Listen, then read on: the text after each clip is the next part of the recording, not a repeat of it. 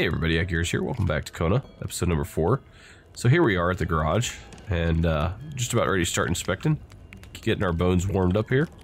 Carl What do we got? deducted this was a map of the area. Were those pins pointing to places of interest? Hmm, that is interesting. So basically, there's a pin down here, which is straight south of where we're at. Then there's one up here. Uh, you know what? I'm gonna take a picture of that. Maybe there's more pins. Is there more pins up here? No, I don't know. Let's take a picture of it though.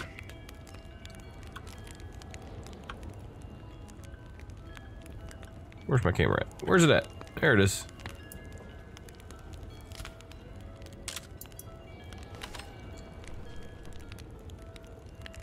Oh, we'll keep that. Pretty good. Let's take a look at this hat. Weird stuff. Kind of a crossing between a colander and a hairdryer. What was it for? To play telepath? To protect against nuclear waves? Who knows? Ah, here we go. So what does this have to say here? There's no... I get the feeling they're supposed to be writing here, but it just goes dark. It doesn't make sense. Do I need to look at something specific? In order for it to translate? I'm not getting any translation here. That's that's weird. Oh, there's a skidoo. Information. Okay. Hmm. Maybe I just need to start, you know, restart the the game.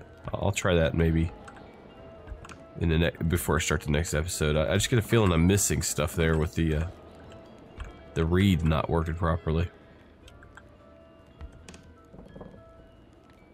I thought you're supposed to have dual everything in English and French in uh in Canada anyway. What the heck, de developers? Like the only ones that don't do it? Hammer. Oh. Nice. Like that. Like that. All right. These scribblings were undoubtedly the mark of a tormented mind. Something wasn't right in the poor mechanic's head. Oh, is he trying to UFOs? If Spaceship blueprint. person could manage to get their hands on the missing parts, Carl was willing to bet that the craft would have taken flight. Mm, I don't think so. Maybe off the ledge and then just straight down into the uh, into the ravine where his lawn chair is, but uh, that'd be about it.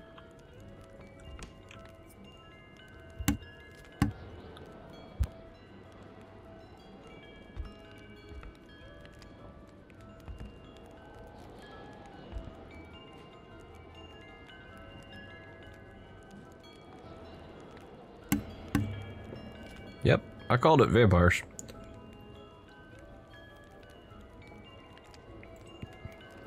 Okay, well, am I missing anything else here? Let's see. Well, I can't complain about me being hungry because there's food everywhere. I'm just not allowed to pick it up.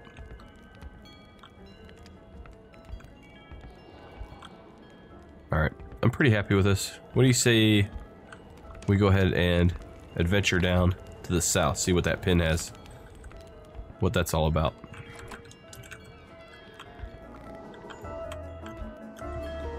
Time to move. Gotta move quick, huh? There's no way in here, is there? Oh, there is. Hold on. Uh-oh. So we're gonna have another one of those uh, flashback things? Yes.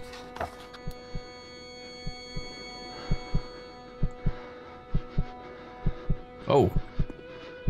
Wow. A spaceship. Okay, should we go outside? What do we do? Go back towards this red thing?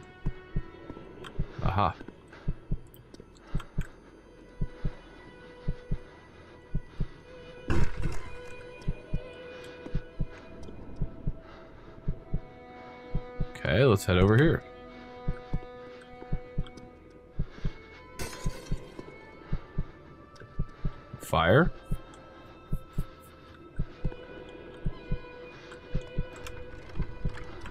Can't get out. Oh.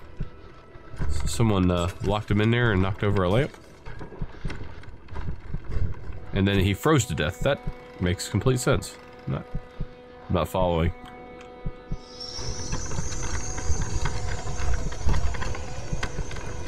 That's where he freezes right there.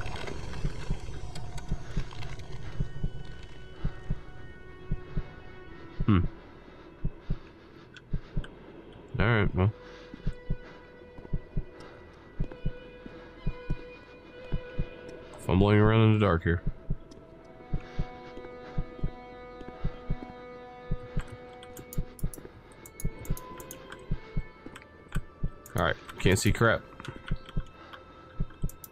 Can't turn on flashlight. Hmm, maybe take the split, fly the spaceship out of here? I don't know.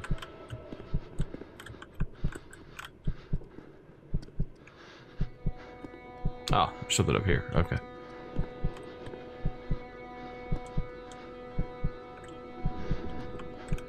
So he threw something up there. Alright.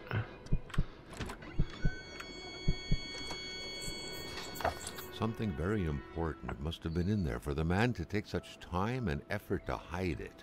But Carl didn't know how to reach it. Really? You just climb up the shelf and knock it down. It's not that difficult. What we got here? Too many orange juice bottles. Alright.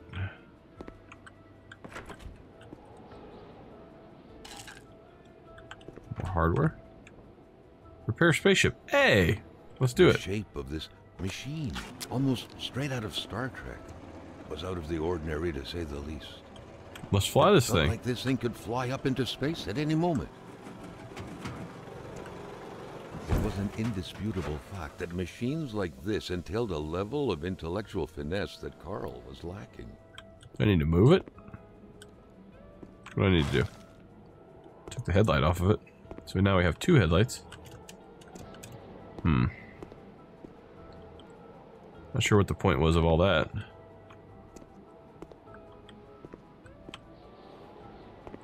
Oh well. The very first steps of man on the moon were made more than a year ago. The event had surely captivated the mechanic's mind for him to still keep this around. Okay.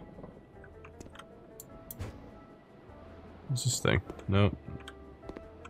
Nothing worthwhile.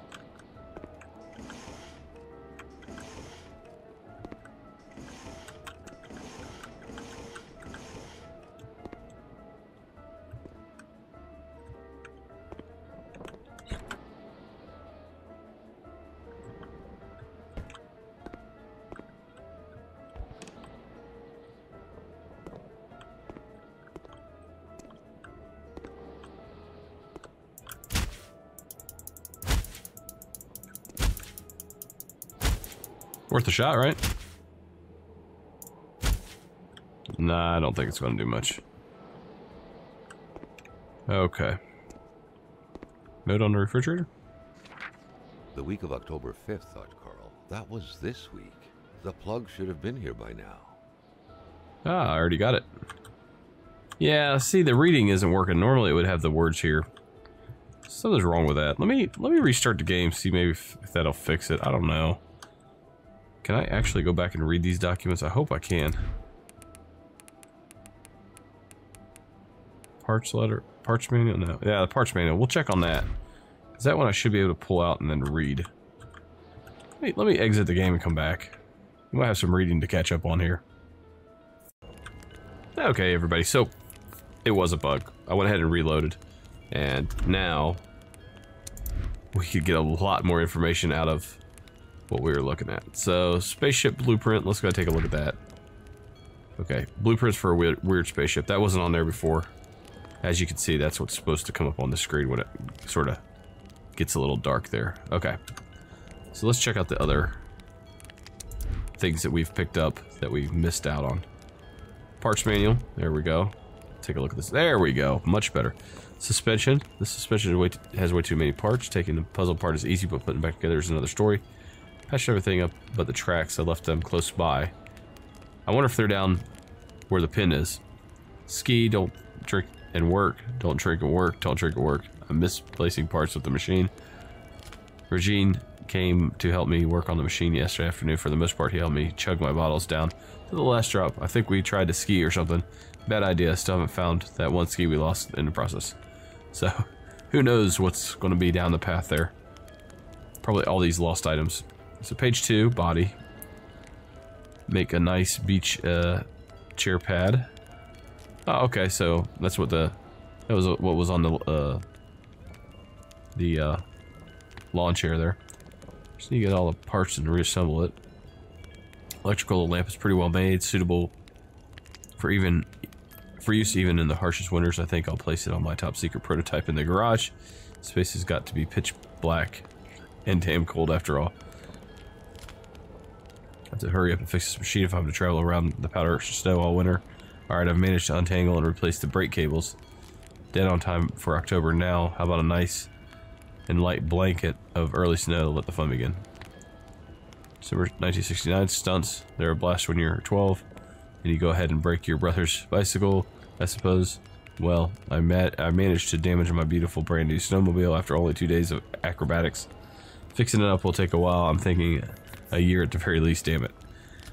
March 1970. I need to get my hands on that yellow suit, yellow suit, including the helmet that goes with it. Just like the ad. I'll order them from the bay. September. What? eBay? Is that is that how eBay started? Back in the 70s.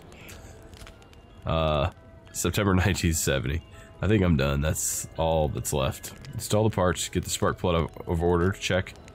Find snowmobile's ignition key. I think it's on a bunch of my bunch of keys, which should be in on the generator powering my top secret workshop down down south. Okay, so that's what's going to be down there. there. Is going to be another workshop in which I'm working on my equally top secret machine. Anyway, I gotta find that key.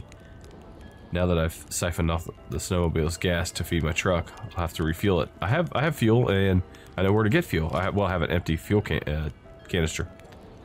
All right, wonderful. That helps out so much. Oh my gosh. Uh, let's keep reading because I think we have a couple more things. Uh, police letter. What's this one? Yes. Uh, dear Mr. Lamoth, Following up on your complaint, I'm afraid that the police cannot support your claim alleging sudden appearance of a man who came from outer space on your village's territory. Manifestly, what happened at Roswell in New Mexico left a deep impression on you, and we would urge you to consult with a physician as soon as possible regarding the future potential complaints. Let me know that the Judicial District of uh, Abitibi does not believe in little green men. Regards, Pierre Valjean, clerk of something of Quebec, it looks like. Alright. Okay, what else have we got here? Letter to Lamoth. Man, I'm just gonna have to go through all these, aren't I? Okay, dear Mr. Lamoth, here's the spark plug you ordered for your Olympic Ski-Doo. This model is very popular and has made it difficult to find brand new part as quickly as usual. Well, normally if it's very popular, it's easy to find parts because they're all wrecked and they've mass-produced a lot of parts. Okay, whatever. Thank you for choosing Garage Potvin.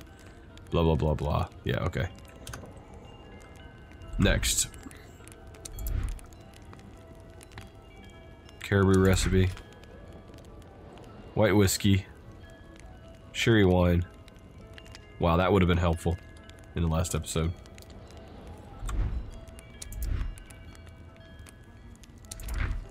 I'm just going to go through all of these guys, just real quick. Quebec liberation will happen by force, or not at all. We will prevail. Okay.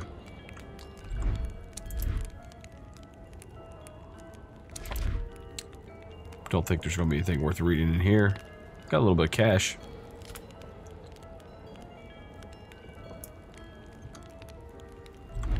What else have we got? Tales and Legends. Okay. Oh my goodness. Okay, I'm not going to read this to you guys. I will read it and move along as we go. You guys can pause as needed. Tales and Legends. I'll screw it, I'll read it. There was a time when hate waged war. Our hunters could decimate the great wolves who had taken our children. Our warriors could snap the necks of the cowards who had reached for our supplies. The deafening sound of rock and bone breaking was enough to uh, satiate the hate, and the rivers of blood would express our remorse and apologies. Thus, was balance man, man, maintained. Then came the whites. Oh, okay. The legend of the Wendigo dates back to a time before what anyone would but the tallest trees can remember. A time of great cold and great aspirations, when the ships came and spewed men, and their fire cannons, uh, plagues, and spinelessness. Uh, balance broke forever. The dead were piling up on our ancestral lands. Too many bodies covered in moss. Too much blood spilled in our sto stone. On our stone. Our bone-breaking hate did not suffer any longer.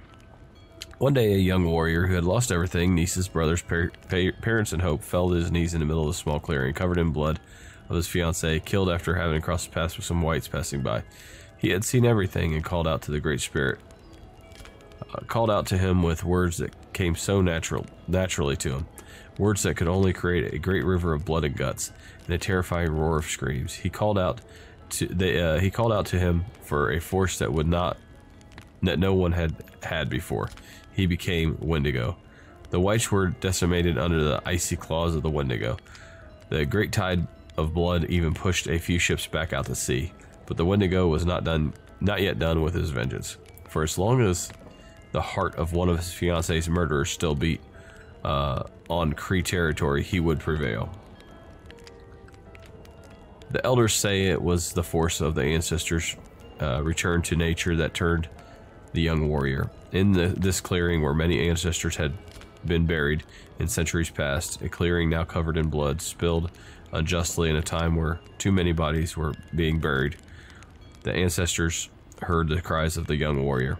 Only in a remarkable time like this could the Wendigo have been born. His vengeance satiated, the warrior became Wendigo, uh, went to rest forever, his frozen heart melting, melted and disappeared, much like the real snow coming, uh, come to this, come the spring. The storms that had befallen the Cree lands faded as well. There was much celebration, balance had been restored, but the whites came back too. White hatred is never sa uh, satisfied by rock and bone turned to dust. They arrived by the hundreds, armed with guns and torches, burned down every village.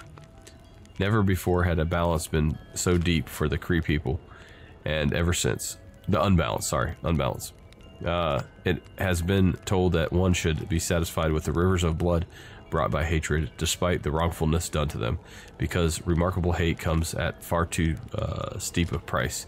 The Wendigo was never invoked again, but in the hearts of the Cree people remained a fear that one day a young warrior would once again call out with uh, remarkable hate, because they know through the wisdom uh, brought by this legend that the Wendigo would prevail, but that this victory would come at a great cost. The whites would come back, the whites would rule, none would be spared.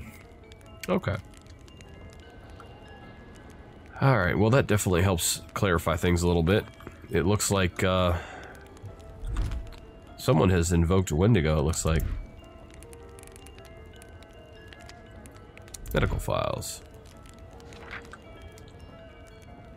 Never did catch her name. The men called her Laurie. She had a neck wound and there's so much blood. Bullet had gone, done lots of damage. Probably hit a cerebellum. I read this one earlier. Cardiac arrest. That small town like this usually turn a blind eye. Okay.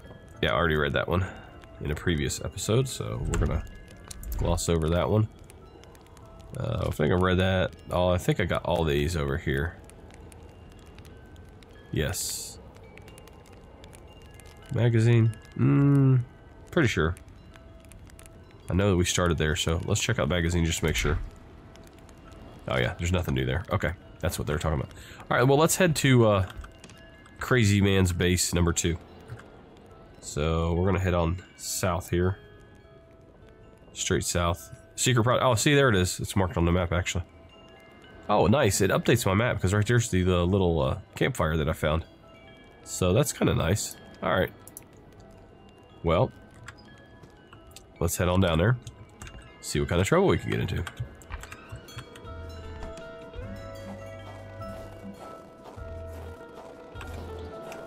I wonder if there's anything I can actually put on this. Did I already go in here? I think so. I think I did. Oh, I can fill it up here? Oh, well I don't have to go all the way back to the gas station. That works. Thing in here? No.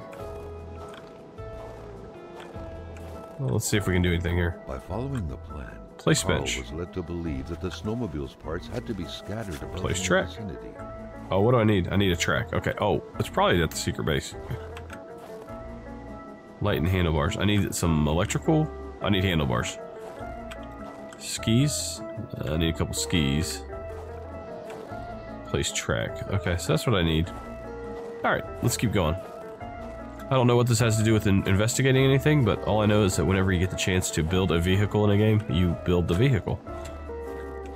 Alright, so let's Carl hadn't lived up to his good finder reputation. He still hadn't found any of the wealth contained in Lamotte's lands. Alright. Well, of course, let's go ahead and get our pistol out. I'm sure there is a... You know what? I think I'm just going to carry the hatchet.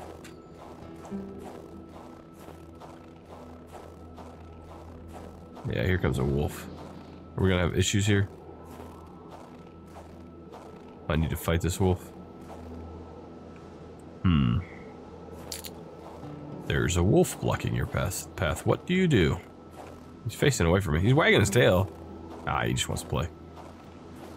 Alright, do I have to kill this wolf? Never thought he would be Oh, wow. with the wolves. Well, one hit kill, that's pretty accurate. At least I didn't have like a boss battle with it. That would have sort of spoiled the mood. Alright, let's keep going.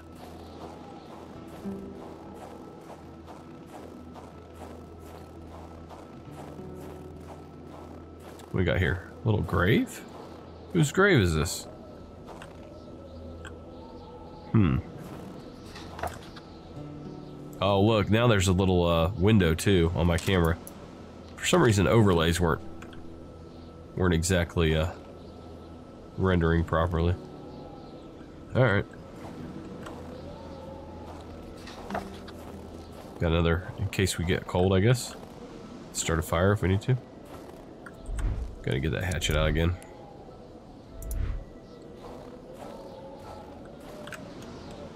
Break fence. Oh, crowbar, I guess, right? Okay.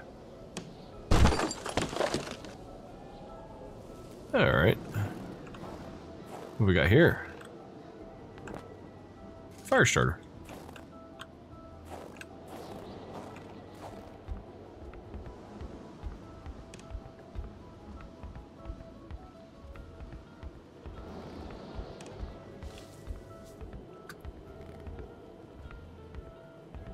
Well, this looks interesting. Secret project. Alrighty then.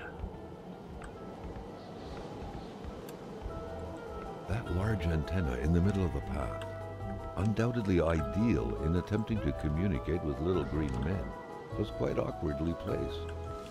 There had to Yeah. be a lever to control it. Maybe Bro, I see- it. I Carl see would it. have to figure out how to reach it. I see it. I just need to go up this way, apparently.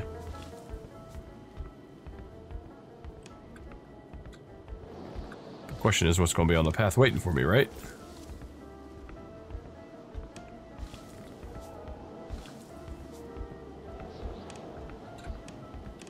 There we go. Bicycle? Ah. Game over, man. I can't do anything with it. Oh, man. Oh, well. I guess we have to go. Go the long way.